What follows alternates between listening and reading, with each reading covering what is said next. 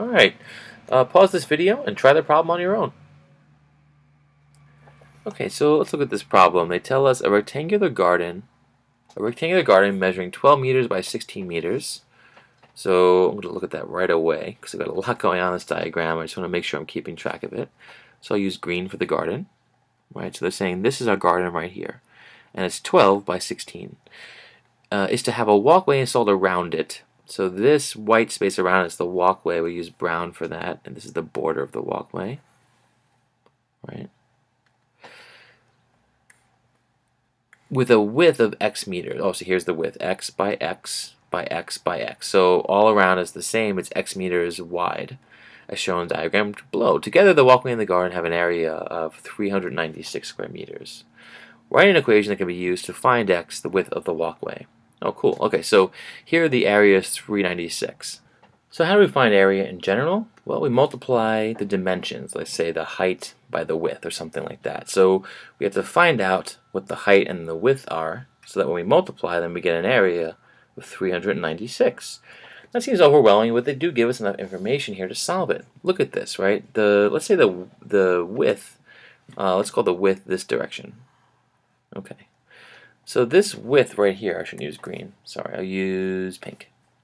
So this width right here, anywhere I draw, it's, it's the width of the rectangle, right? If I draw on the bottom or whatever, as long as it goes from one end to the other. This width, how wide is that? Well, it is 16 here, right? This part right here is 16 wide in the diagram, plus this x and plus this x. So it's 2x plus 16. And then the height is just x plus x, 2x again, plus 12. This middle piece right here. So that's the equation we're going to use. All right, keep going. Describe how your equation models the situation. So there you could write how um, that 2x plus 16 uh, represents the width, while 2x plus 12 represents your height. Um, and describe that you use the, the, the height of the garden, 12, plus 2x, 1x below it, 1x above it, to make 2x plus 12. And likewise here, use the width of the garden, 16, plus an x on each side to make an expression for the width. Determine the state of the width, determine and state the width of the walkway in meters. Okay, so basically they want us to solve for x and then use that value to find out what how wide this thing actually is. So let's do that. We have 2x plus 16 times 2x plus 12 equals 396. Okay, so here we're going to simplify a little bit. 2x times 2x is 4x squared. It's right here. 2x times 12, what's that? Well, that's 24x. 16 times 2x, that's 32x. And 16 times 12, well, 16 times 10 is 160, plus another 32 is 192 and I'm going to check because it's I always slip up with my arithmetic. Yes, 192. And that equals 396. So we have 4x squared plus 56x. I combine 24 and 32 plus 192 equals 396. So to, to solve this thing, what I want to do is get one side equal to 0. So at this point, I'm going to take 396 from both sides. I do that because I want to get um, 0 on one side and use that 0 product property. This is minus 204 plus 56x, and then we have 4x squared. Now from here, you could solve for x using the quadratic formula or completing the square. Uh, however, I think it'll be much easier to work with if we divide everything by 4 right? Divide by this value a because 4 goes into every number you have here.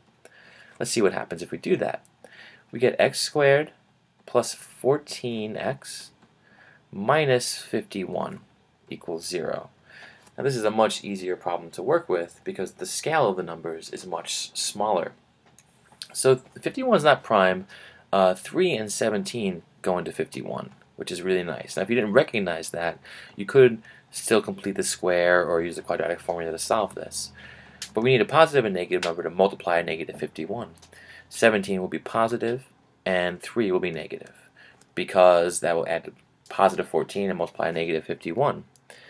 If this equals 0, the two values of x that equal 0, let's find them. x plus 17 could equal 0, so x would be negative 17. And then x minus 3 could equal 0, and in that case, x would equal 3. So out of these two choices, we're going to reject um, negative 17. We're not going to set the negative measurement for something, only set the positive measurement. But 3 is not our answer. We're looking for the width of the, the I think. Oh, it is the answer. Sorry. We're looking for the width of the walkway. Right, so that means that x is 3 right here. And let's just check it because I want to make sure this works. Um, in other words, I want to plug in the number 3 and see if we get the correct area of the entire thing, which is, let's see what it says. Together, the walkway and the garden have an area of 396 square meters. Let's just test that out. So we have 3 and 16 and 3, that's 22.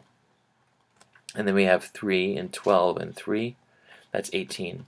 So when we multiply 18 by 22, we do need to get 396. 18 by 22. And yes, it works. Okay, cool. So x is 3.